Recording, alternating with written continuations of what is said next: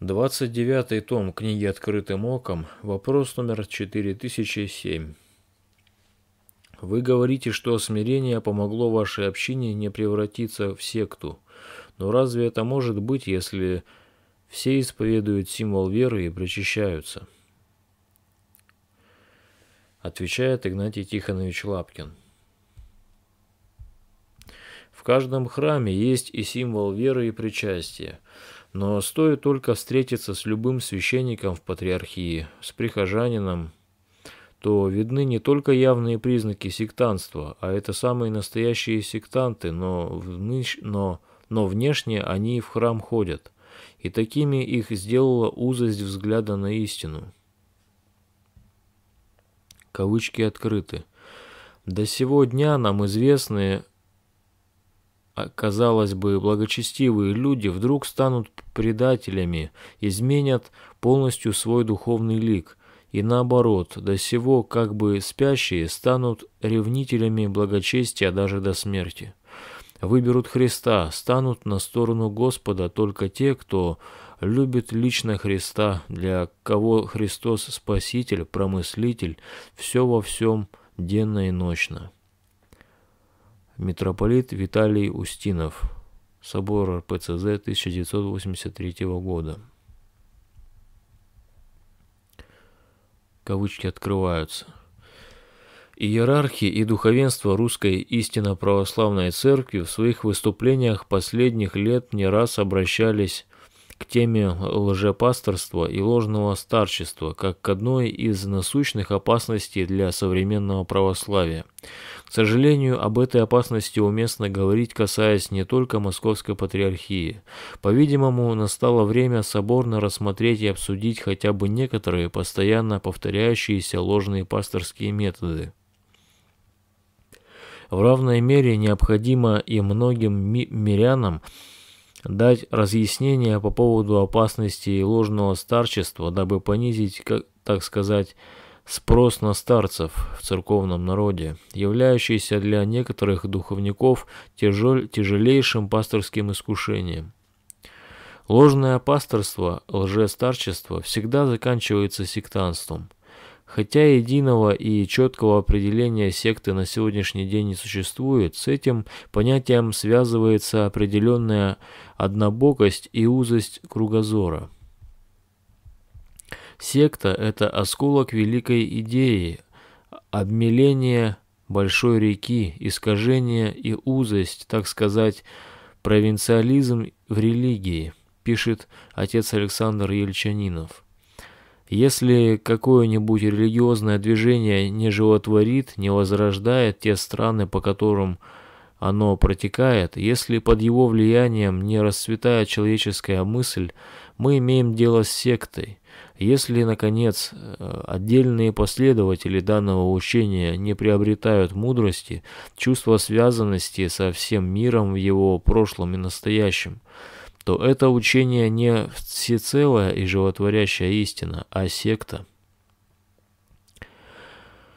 Итак, главная черта секты – ее частность, ее, так сказать, осколочность. И если мы говорим о секте, то речь всегда идет о осуждении большого, сужении большого, об оскол, осколке великой идеи, об обмелении той полноводной реки, которая уже текла. Вселенское христианство со всем богатством своего богословия и традиций, с церковным откровением, преданием, богослужением и так далее, и является этой широкой глубокой рекой. Человеку отрезают все жизненные пути, кроме одного. Только здесь ты спасешься, только я твой духовник, только в полном послушании мне правильный путь – только оставив здесь свое имущество, только отказавшись от семьи или от образования, можно прийти к вере и к спасению. Вот общий набор постоянно внушаемых лжестарческих установок. Обыкновенно в любой секте все это внедряется в сознание человека единовременно или последовательно, постепенно, и внушается не только убедительными словами, но и созданием для человека соответствующих условий восприятия, чтобы не поверить внушаемому. Было как можно труднее, а то и опаснее.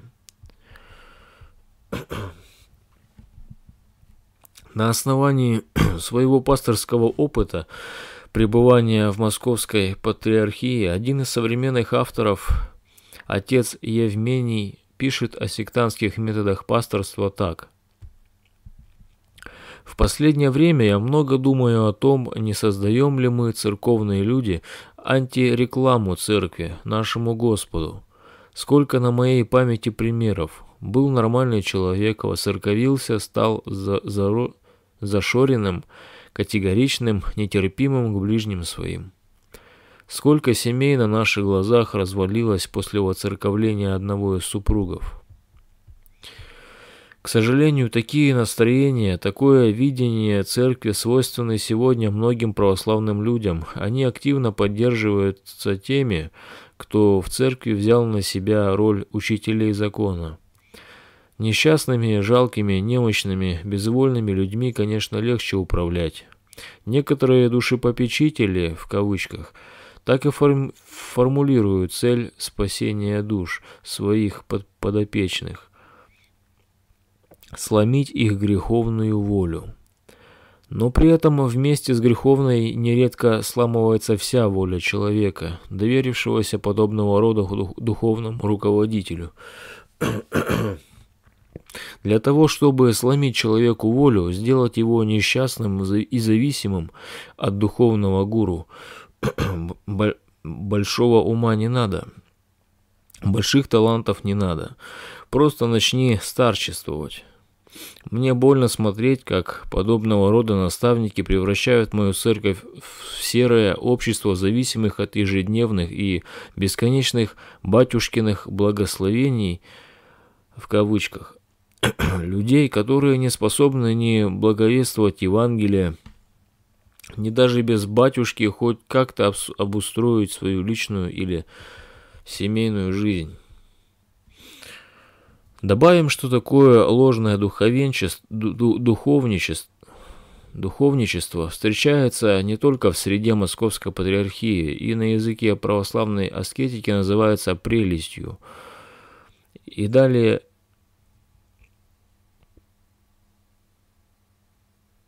игумен Евмений приводит верное историческое обоснование своей мысли – если бы в истории христианства господствовала подобная психология беспомощности, если бы следование воле Божией, промыслу Божьему было бессмысленным и пассивным плаванием по течению, то не прозвучала бы апостольская проповедь, не возникла бы христианская государственность, не строились бы монастыри и храмы. Христианство было христианство бы иссякло и не дошло до нашего времени, если бы предыдущие поколения христиан зациклились на собственной никчемности, беспомощности и недостоинстве. Уяснив общую суть понятия секты, имеет смысл рассмотреть конкретные пасторские приемы и установки, ведущие православного христианина на сектантский путь.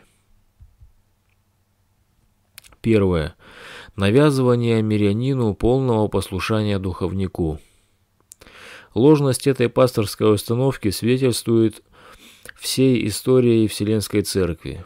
Во всех сектах, начиная от монтанистов, новови, новотиан, донатистов, от монашествующих отцов монофизитства и заканчивая современными сектами, этот принцип является главным. Без него никакая секта не обходится. Для иллюстрации достаточно привести слова основателя современного кришнаизма с вами Прабхупады. Если у вас есть проблемы с Богом, помочь вам может только гуру. Если же у вас есть проблемы с гуру, помочь вам уже не может никто. Ложность и порочность абсолютного послушания хорошо рассмотрены в трудах святителя Игнатия Бринчанинова и романаха Серафима Роуза и многих других авторитетных православных авторов. Конечно, история православного монашества знала принцип послушания как необходимый первый этап для новоначальных иноков. Понятно, что анархия и самовольство ведут самомнению и гордыне, а врачуются эти духовные недуги послушанием. Но в том-то и дело, что в подлинном пасторском устроении речь идет о послушании церкви, можно даже сказать преданию церкви, то есть евангельскому и апостольскому слову, святым канонам, урокам церковной истории, причем добрым урокам. Иными словами, послушник да слушается полноты церковного учения, доплывет по глубокой православной реке. Когда же полнота церковного опыта подменяется единоличной волей наставника, то и наступает обмеление великой реки и провинциализм в религии. То есть зарождается секта, причем нередко даже в ограде церкви, как своего рода государство в государстве, как болезненная опухоль на здоровом церковном теле. В классических отеческих жизнеописаниях, например, в житии преподобного Акакия и же в Лествице или в житии преподобного Иоанна Дамаскина, мы находим описание весьма сомнительных плодов практики полного монашеского послушания. Там и здесь необразованный и жестокий, своенравный старец, принявший на себя роль духовного гуру, душевно и физически истязает послушника. Там и здесь послушник выдерживает это истязание, бывает спасен самим Господом или Пресвятой Богородицей, но это отнюдь не ставится в заслугу жестокому и неискусному наставнику. Напротив, история этих так Истории эти так подробно описаны в потеряках именно с целью обратить внимание на ложное духовничество. Тем более принцип полного послушания абсолютно неприменим со стороны монашествующих духовников к мирянам. Человек, живущий не в монастыре, а в обществе, обязан принимать ответственные решения самостоятельно, и цель духовного руководства в том, чтобы обучить его ответственности за собственное спасение, а не подавить его волю. Кроме того, духовники из монашествующих не имеют, как правило, должного семейного опыта, по крайней мере, положительного семейного опыта, а иногда наоборот имеют собственный негативный опыт неудавшейся семейной жизни, чтобы придавать своим пасторским советам некую обязательность для исполнения. Требование абсолютного послушания несет явно или тайно одну единственную цель – сломить волю человека, сделать его своим послушным орудием. Это не имеет ничего общего с главной целью православной христианской аскезы – восстановить и освятить человека, созданного свободным по образу Божию и призванного уподобиться Богу, а не стать похожим на своего духовника. Душевно искалеченный не может получить подобие Божие, к коему призван. Второе. Притязание на имущество прихожан. Большинству сект свойственно такое притязание, когда завербованного человека склоняют пожертвовать свое имущество в пользу секты. Совершается это постепенно, но постепенно по мере укрепления нового адепта в полном послушании, иногда в несколько этапов. Однако медленно и верно, не мытьем, так катанием обирают. Цель этого обирания главным образом заключается не столько в личном обогащении гуру, сколько в захвате власти над жертвой. Бездомный и обобранный никуда не денется и будет сидеть у ног руководителя, как собака на коротком поводке. Третье. Побуждение к несвоевременному или незаконному монашескому постригу. Здесь речь может идти о двух категориях лиц. Во-первых, лжестарцы расторгают браки, в том числе венчанные в храме, против желания одного, а иногда и обоих супругов, с целью пострижения их в монашество. Во-первых, нередко они постригают юношей или даже детей. Следует отметить, что разрушение семьи – типичный прием подавляющего большинства тоталитарных сект или лжестарцев. В оправдании такой практики иногда привлекаются слова Спасителя об отказе от семьи ради Царства Небесного. Смотрите Евангелие от Луки, 14 глава, 26 стих, или Евангелие от Марка, 10 глава, 29 стих. Но, во-первых, мы не можем приравнять тех, кого избрал сам Христос, с теми, кого избирает глаголемый старец. Во-вторых, Спаситель однозначно запретил развод по любой причине, кроме прелюбодеяния. Апостольское правило пятое запрещает клирикам изгонять жен под предлогом благочестия. Иными словами, развод по причине религиозной ревности одной из сторон церковью не одобряется. В-третьих, нет оснований видеть в словах Спасителя заповедь оставить семью на всю жизнь. Вполне вероятно, что речь шла об оставлении семьи на время его земного служения. И апостол Павел свидетельствует, что даже апостольское служение для Петра и прочих, призванных женатыми, не, не означало разрушение их семьи. Первое послание Коринфянам, 9 глава, 5 стих.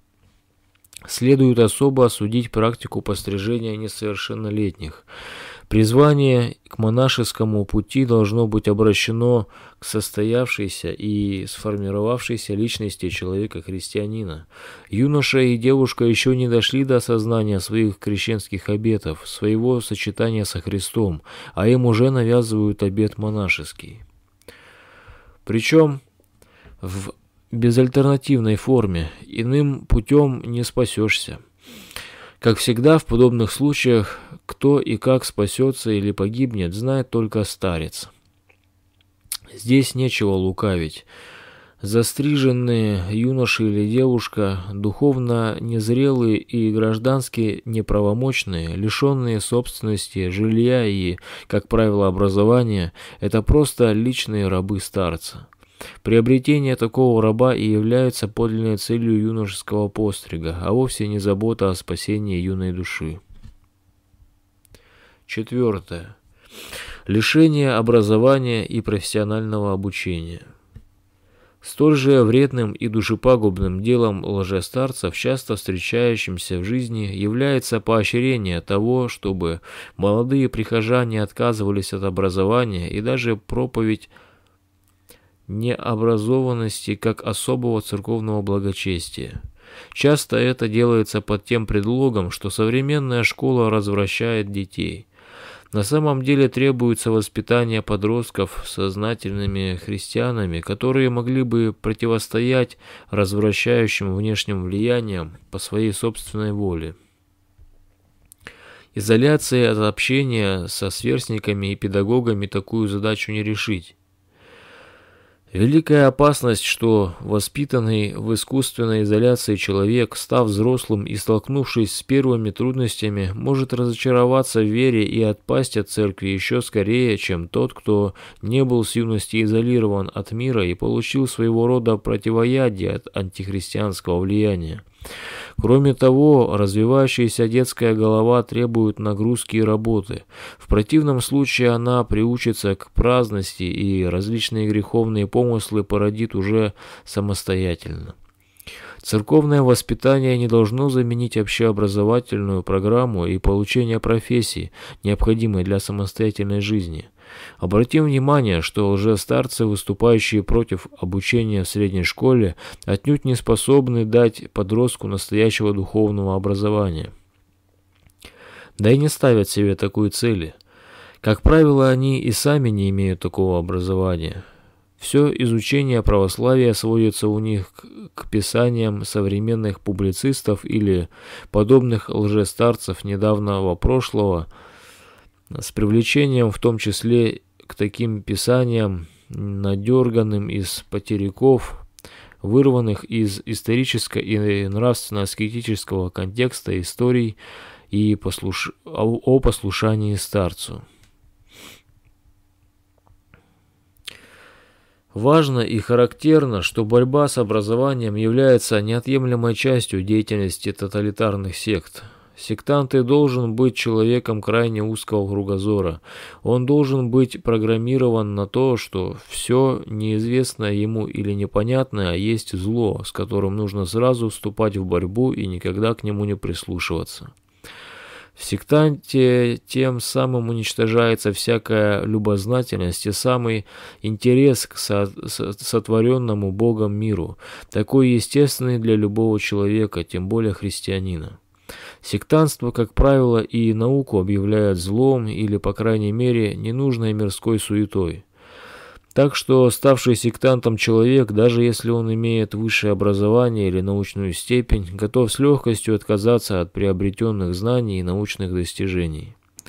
Заметим, что проповедь невежества может не быть явной. Лжестарцы порой не противятся тому, чтобы их духовные чада обучались в школах и университетах. Однако самый дух секты противен естественному заинтересованному отношению к окружающему миру. И если посомый вошел в полное подчинение своему старцу и без рассуждения выполняет все его указания, он становится духовным изгоем, неспособным самостоятельно принимать ответственные решения в деле своего спасения. Пятое. Телесно-аскетический надрыв. Вместо серьезного духовного и общего образования по-сумому вменяется тяжкий труд или чрезмерные телесные ограничения, а также эпитемии, накладываемые без учета тяжести согрешения, физического и психи психического здоровья, духовного состояния человека. Усталым, надорванным человеком легче управлять, и он меньше задает вопросов. Со временем тяжелые послушания и эпитемии превращаются в неудобоносимое бремя для человека, и это вводит его в состояние уныния, отчаяния и озлобления. Естественно, что результатом такого состояния может стать отпадение от церкви. Шестое. Проповедь сомнительных примеров старчества. В свое оправдание духовники сектантского духа приводят примеры подобных себе наставников прошлого. История церкви и в самом деле богата подобного рода примерами.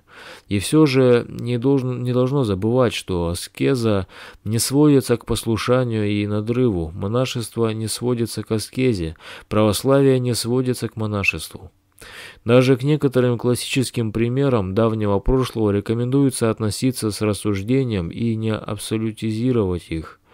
Примером могут служить покаянные темницы египетских монастырей, описанные в Лествице. К чему привела абсолютизация телесного подвига и послушания в истории египетского монашества хорошо известно. Из этого родилась монофизитская ересь. Впрочем, гораздо опаснее, когда в пример приводятся некоторые наставники недавнего прошлого, никак не являющиеся людьми святотеческого духа и авторитета. Такие примеры притупляют духовное зрение и нравственное чувство христианина. Седьмое. Апокалиптические запугивания. Одной из важнейших составляющих ситанского воспи воспитания в ряде сект – выделившихся из разных конфессий, является нездоровая сосредоточенность на эсхатологии. Используются разные средства для нагнетания чрезмерной апокалиптической паники. Иногда даже назначается дата конца света. Однако более умные сектанты этого не делают, а просто побуждают адептов верить, что любая материальная и социальная человеческая деятельность для них совершенно бессмысленна. Конец уже в завершающей стадии, и остается только спрятаться за спину старца. Конечно, христианин должен примечать знамения времени, но важно помнить, что в общем контексте со всем вышеперечисленным апокалиптическая паника преследует единственную и общую цель – духовное порабощение человека и слом его воли. Таковы общие и универсальные пасторские приемы практически в любой тоталитарной секте. Наблюдая полную приложимость и частое применение этих методов в православных общинах самым, самых разных юрисдикций, мы с необходимостью приходим к следующему выводу. Секта не зависит от собственной догмати догматики, допуская любую и при этом оставаясь сектой. Религиозное учение секты есть нечто второстепенное по отношению к главному – духовному порабощению личности человека. Внешне оно даже может быть вполне православным. Православная в кавычках секта всего лишь не знает, а зачастую и не хочет знать подлинного предания церкви и ее истории, но охотно признает православную догматику и это самое неизвестное ей, иногда искаженное до неузнаваемости предание. Но в случае применения выше, э, вышеназванных пасторских, в кавычках, установок никакая формальная православность не мешает общине превратиться в секту. Отсюда следует вывод, что православному человеку необходимо иметь хотя бы начальное образование в области сектоведения и постоянно изучать православную аскетику святых отцов в церкви, чтобы никто из братьев и сестер не сделался добычей ложного духовника и само явление ложного духовничества не имело бы почвы для своего развития в церковной среде. Одним только рассмотрением деятельности клириков, для чьей пасторской практики характерны вышеперечисленные черты, вопрос решить не удастся. А между тем, именно опасность вырождения в сектанство является одной из важнейших в неофициальном православии. Но и обычная ликвидация безграмотности по сектоведению принесет мало добрых плодов при отсутствии духовного осмысления корней сектантской психологии. Если секта предполагает сужение и обмеление, опошление истины, то, соответственно, ей должна быть противопоставлена широта кругозора и реальная причастность к полноте предания церкви. Главная ошибка секты в том, что она не видит ничего, кроме узкого сектора, а главный грех ее в том, что созерцаемую свою узость она провозглашает полнотой – где проповедуется исключительная ценность своего избранного кружка, там секта уже составилась. Русская зарубежная церковь с самого начала своего основания исповедовала себя частью всей русской церкви. Со, врем...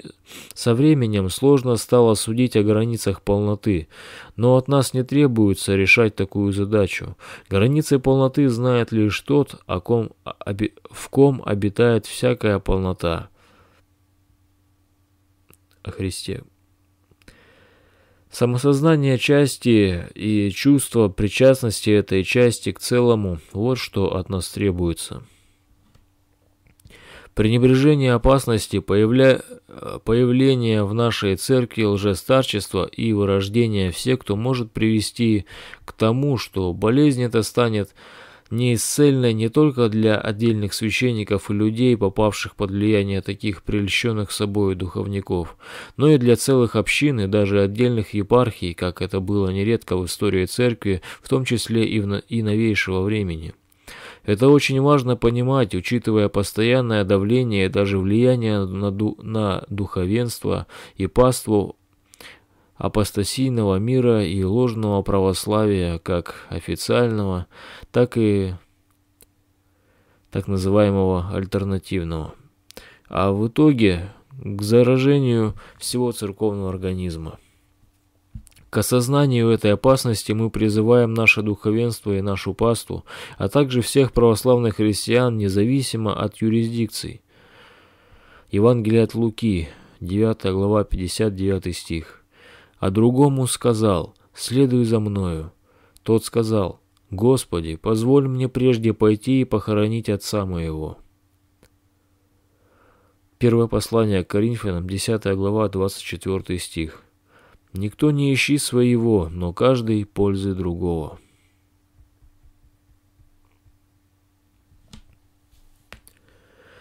Занятия ненужные отсеять, и знания пустые безжалостно откинуть, Пять книг написаны пророком Моисеем. Он был у Бога летописец Пимен. И прошлое внезапно приоткроем, о нужном Бог поведал, ограничил, и ничего написанного кроме нам не потребуется с разумением птичьим.